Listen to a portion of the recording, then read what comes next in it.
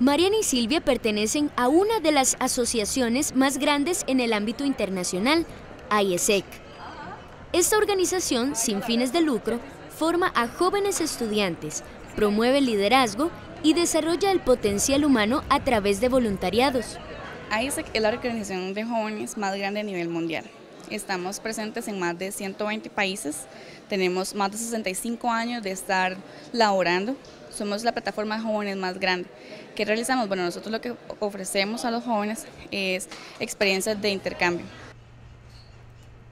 En la UCR, así como en el TEC, la UNA y la ULACIT, existe una comunidad de IESEC integrada por 70 jóvenes de diferentes carreras. Durante este periodo, se está reclutando estudiantes que quieran realizar un voluntariado en alguno de los 120 países que la conforman.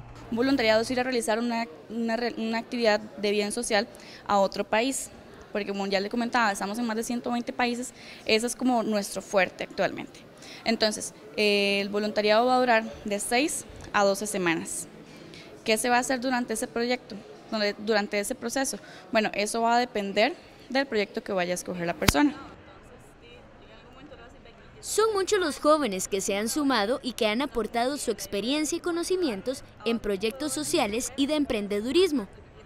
Este es el caso de Mariana, quien estuvo durante seis semanas en Medellín, Colombia, trabajando con niños en riesgo social. Fue súper bonito, es decir, bueno, antes de irme todas las ansias y todo el proceso, igual eh, a IESEC le da uno como una cierta preparación, ¿verdad? Antes de irse. Y bueno, ya estando allá fue lindísimo. Igual la, comunidad, digamos, Ayeseca en Medellín me recibió súper bien. Viví en una casa eh, de una familia colombiana. Si al igual que este joven usted desea realizar un voluntariado, tome en cuenta que los periodos para realizarlos van de junio a agosto y de noviembre a enero. Los programas duran de 6 a 12 semanas y es recomendable contar con un nivel intermedio de inglés. Para más información, puede consultar la página de Facebook de IESEC.